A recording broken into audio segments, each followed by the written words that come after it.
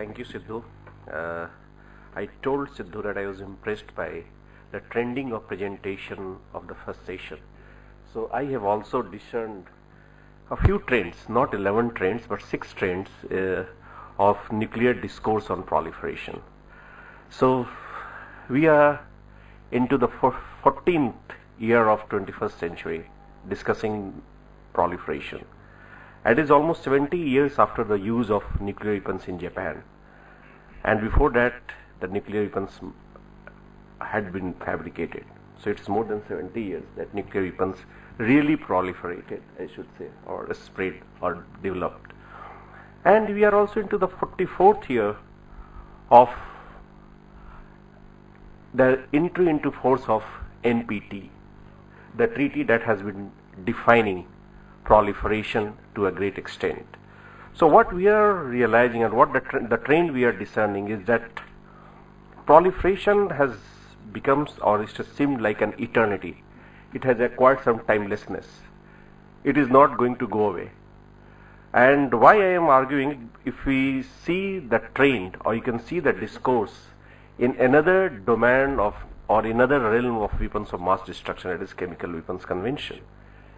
If you read chemical weapons convention, there is no mention of word proliferation or non-proliferation.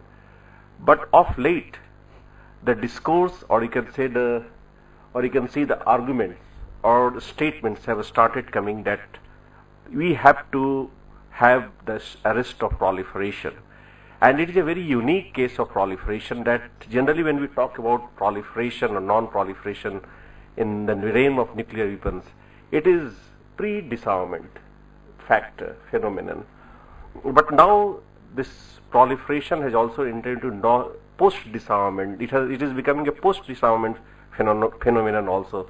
If we really go through the debate or even discussions or even statements relating to chemical weapons convention. So that's why I'm saying this first trend I'm discerning is the eternity or timelessness of proliferation discourse. Second issue is uh, trend I could say which Lewis uh, Patricia mm, pointed out the fixed or dynamic. The definition, if you go by NPT definition, it appears something fixed. Any country which tests after January 1st, 1967 or acquires nuclear weapon is a proliferator. Before that, good people, good countries. So this gives a uh, this gives a kind of understanding that it is fixed. But I agree with uh, Patricia, it is not fixed. It is dynamic and she pointed out two reasons for seeing it as a dynamic category. I, I, I agree with her and I add two more points.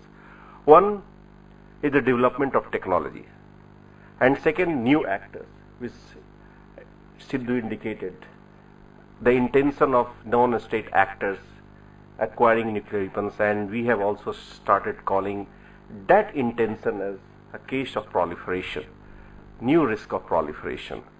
The moment now I come to the third issue and the third trend that is what is this proliferation a risk or a threat? The dominant discourse is that it has become a risk. When we talk of risk then it looks harmless not intentionally threatening anyone not intentionally harming any any country it is just consequences of an action, maybe unintended. But in reality, is it so? That we have to ask. And this there is a thin line, very complex line and very complex phenomenon. But I believe and I consider this risk uh, has got the tendency to become a threat if it is not managed. So this is the fourth trend I'm saying there is no bound, there should not be any boundary between risk and the threat, which has somehow in the latest discourse is being treated as so, that proliferation is a risk, not a threat, because no one is intentionally harming. This is the fourth, uh, third point I wanted to make. Fourth is somehow the discourse is, has been techno-legal in nature. And the pol old politics is basically determining this nature the politics which was prevalent before 19, in 1960 or before that. Somehow it has been dominating in shaping this nature of proliferation discourse. We are talking about that nuclear materials, Sidhu talked about nuclear materials, dangerous nuclear materials which may be useful for expensive, Um, useful for making nuclear weapons. There are design and testing problems, delivery systems, ballistic missiles.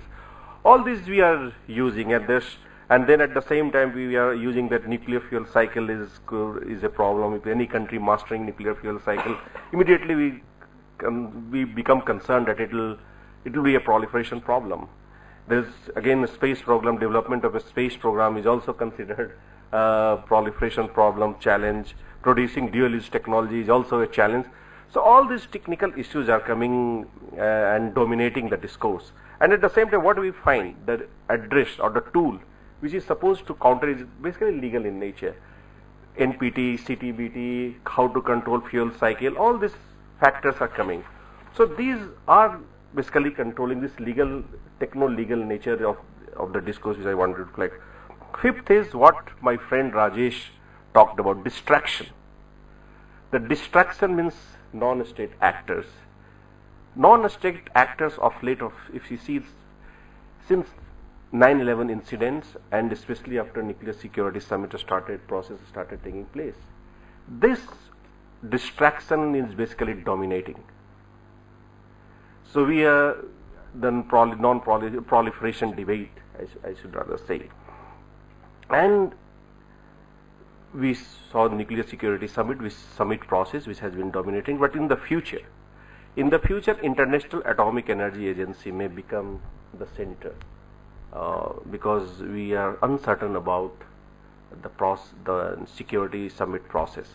So this is this is another trend which I see. There's many more countries are nowadays started adhering to all the tools which are supposed to address this particular risk. So this is this is another trend, but there is another danger. There is danger associated which I consider the sixth trend, the danger of over projection. The one over this, every science and technology should not become a threat, and we should not over rely on one tool. Like some people argue that the moment you have got independent nuclear safety agency, something like all the problems will be solved.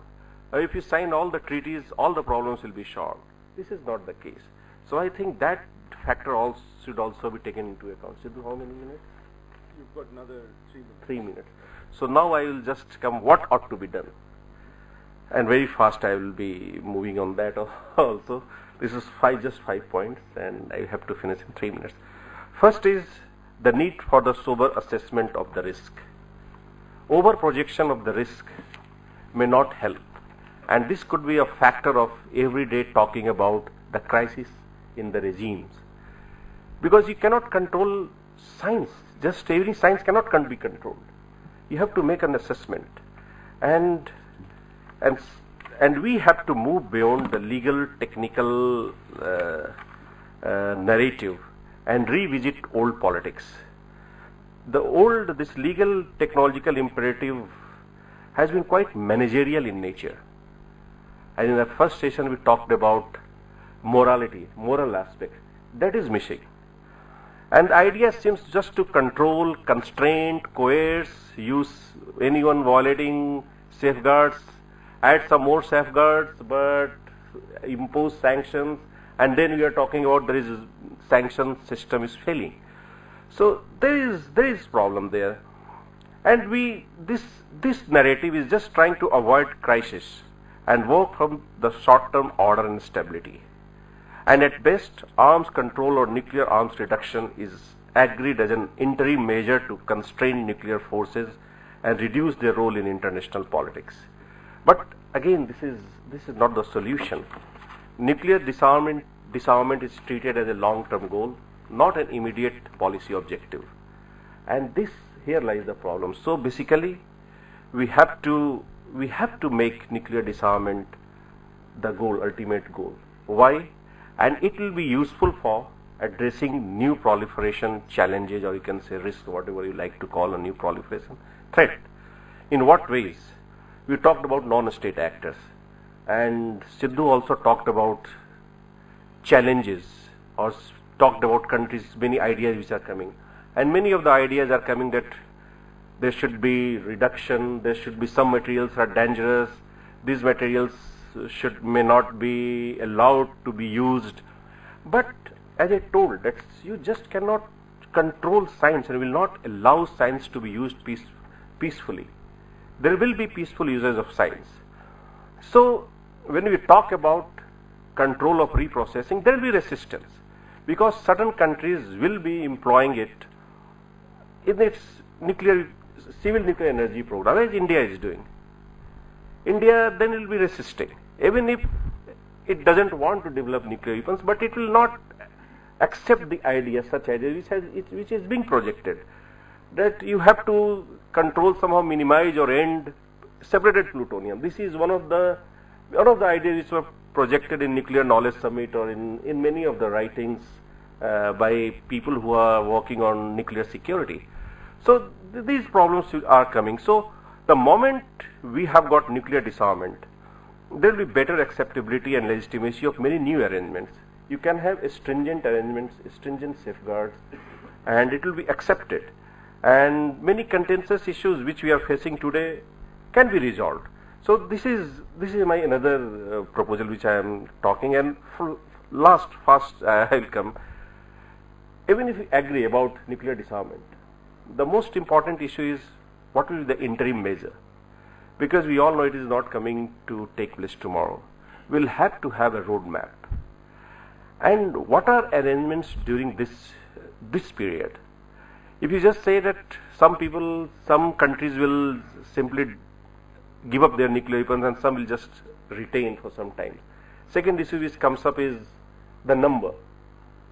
And number is will be contested. So some some measures, some interim arrangement needs to be put in place. Thank you.